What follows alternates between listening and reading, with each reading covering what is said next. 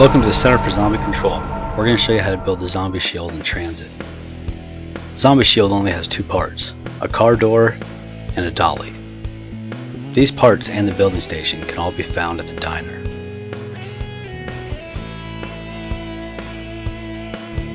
First we'll locate the building station. It can be found inside the gas station. As soon as you enter the front door, you'll see the building station on the left hand side of the far wall. After you pick up a part, you'll attach it to the building station.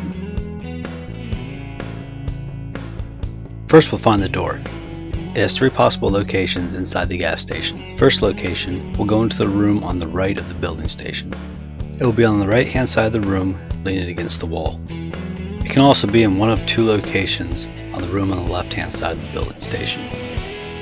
You either find it sitting on the table right as you enter the door, or attached to the car Next we'll find and attach the dolly. It can be found in the actual diner.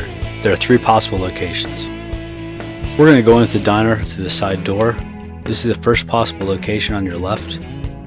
It's sitting right by a fryer.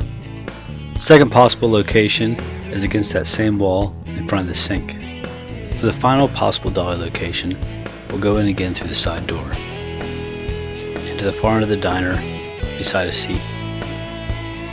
After you attach the final part, you can pick up your zombie shield. Thanks for watching. Don't forget to subscribe to my channel. You can also visit us at the Center for Zombie Control, join the community, discuss strategy, find good players to play with. Become a member today and enhance your gaming experience.